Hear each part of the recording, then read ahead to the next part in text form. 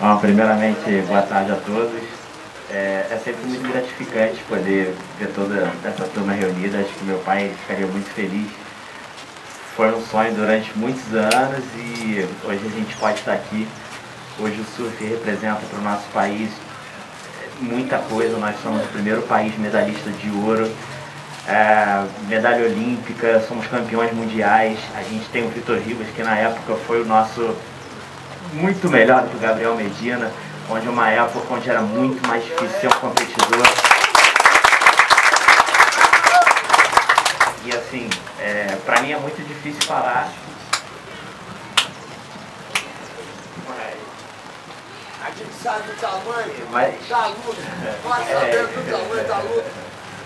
E eu fico muito feliz de ver o espaço funcionando, é, culturalmente falando, para as escolas, para as crianças, para o esporte, é, para o turismo. Eu acho que o Museu do Surf está aqui para para edificar a cidade, para ser um dos pontos turísticos, como sempre tem, tem, tem sido nesses últimos anos, um lugar mais importante.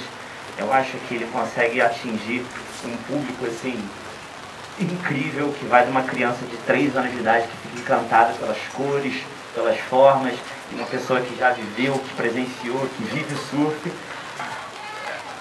É difícil. E assim, muito feliz de estar aqui. Hoje minha mãe ela está de frente, representando meu pai, todo o legado.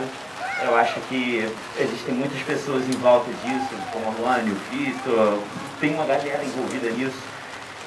E é isso, não vou falar muito. Parabéns a todos que estão envolvidos, parabéns ao prefeito, Vitinho, todos vocês.